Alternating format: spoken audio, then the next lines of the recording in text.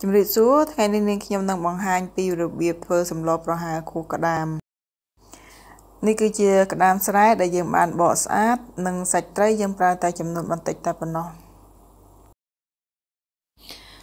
ក្តាមដែលបានបកស្អាតហើយយើងយកទៅកិនហើយយើងត្រងយកទៅទឹកវាដើម្បីធ្វើជាខួក្តាម នេះជាគ្រឿងដែលយើងបានផ្សំហើយ មានគល់ស្លឹកគ្រៃរមៀតខ្ជាយខ្ទឹមស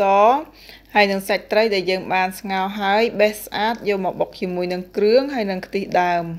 ឥឡូវដល់ពេលយើងស្លគឺយើងដាក់ប្រហុកជ្រុំចូលទៅក្នុងទឹកដែលយើងបានស្ងោរសាច់ត្រីនោះយើងចាក់ខ្ទិះចុងចូលប៉ុន្តែប្រើតែចំនួនប្រមាណតិចល្មមបានហើយ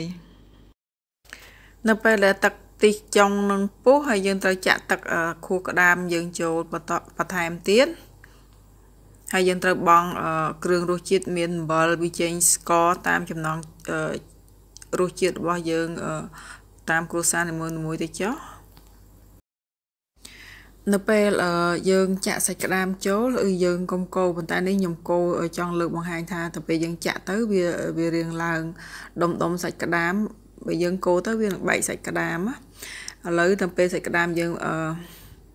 ពុះហើយយើងត្រូវចាក់គ្រឿងដែលយើងបានផ្សំមានសាច់ត្រី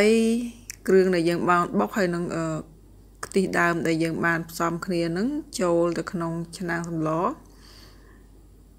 នៅទុកឲ្យវាបានឲ្យវាពុះមួយរំពុះហើយពេលនោះសម្លយើងឆ្អិនហើយចានៅពេលដែលឆ្អិនគឺនេះសាច់ក្តាមវាឡើងដុំដុំអញ្ចឹងនៅពេលដែលយើងញ៉ាំទៅគឺឆ្ងាញ់ សូមអរគុណចំពោះការទស្សនាវីដេអូមួយនេះបើមានកំហុសកុសឆ្គងដោយប្រការណាមួយ សូមខន្តីអភ័យទោសផងអរគុណច្រើន